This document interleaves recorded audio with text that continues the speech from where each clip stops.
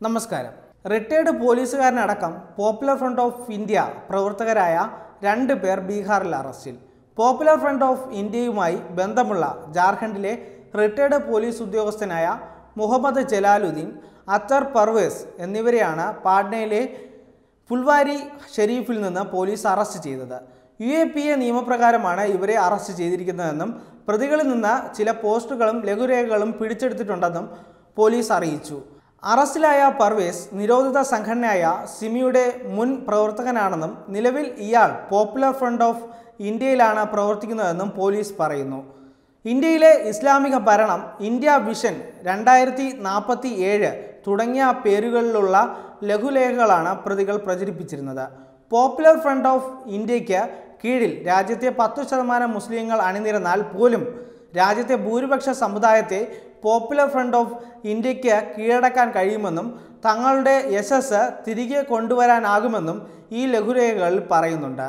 ഇതിനു പുറമെ ആയോധന കലയെന്ന പേരിൽ പ്രദേശത്തെ നിരവധി പേർക്ക് പ്രതികൾ ആയുധ പരിശീലനം നൽകിയിരുന്നു.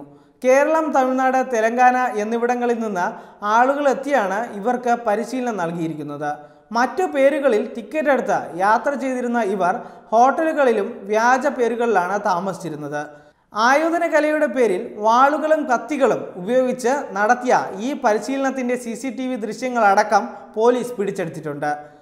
അറസ്റ്റിലായ പർവേസിന് പാകിസ്ഥാൻ തുർക്കി ബംഗ്ലാദേശ് എന്നിവിടങ്ങളിൽ നിന്ന് ലക്ഷക്കണക്കിന് രൂപ ലഭിച്ചിരുന്നതായാണ് പോലീസ് നൽകുന്ന വിവരം. നിലവിൽ കസ്റ്റഡിയിലുള്ള സിമി പ്രവർത്തകരെ മോചിപ്പിക്കാനുള്ള ചെലവുകൾക്കായാണ് ഈ പണം ഉപയോഗിച്ചിരുന്നതെന്നും പർവേസിന്റെ ഇളയ സഹോദരൻ രണ്ടായിരത്തി ഇരുപത്തിരണ്ടിലെ സ്ഫോടന കേസിൽ പ്രതിയാണെന്നും പോലീസ് പറയുന്നു.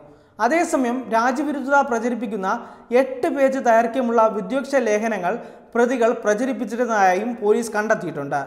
ഇന്ത്യ വിഷൻ രണ്ടായിരത്തി നാൽപ്പത്തേഴ് എന്ന പേരിൽ തയ്യാറാക്കിയിരുന്ന രേഖയിൽ കടുത്ത രാജ്യവിരുദ്ധത വർഗീയ ഉള്ളടക്കങ്ങളാണ് അടങ്ങിയിരിക്കുന്നത്. രാജ്യത്തെ പത്ത് ശതമാനം മുസ്ലിങ്ങൾ നമുക്കൊപ്പം നിന്നാൽ ഭീരുക്കളായ ഭൂരിപക്ഷത്തെ അടിച്ചമർത്തി നമ്മുടെ രാജ്യം സ്ഥാപിക്കാൻ കഴിയുമെന്ന് പോപ്പുലർ ഫ്രണ്ട് ഓഫ് ഇന്ത്യയ്ക്ക് ആത്മവിശ്വാസമുണ്ടെന്ന് ലേഖനത്തിൽ അവകാശപ്പെടുന്നു. ഇതിനായി തുർക്കി ഉൾപ്പെടെയുള്ള ഇസ്ലാമിക രാജ്യങ്ങൾ സഹായം വാഗ്ദാനം ചെയ്തിട്ടുണ്ടെന്നും ലേഖനത്തിൽ പറയുന്നതായി പോലീസ് വെളിപ്പെടുത്തി. ന്യൂസ് ഡെസ്ക് കത്തുമൈ ന്യൂസ്.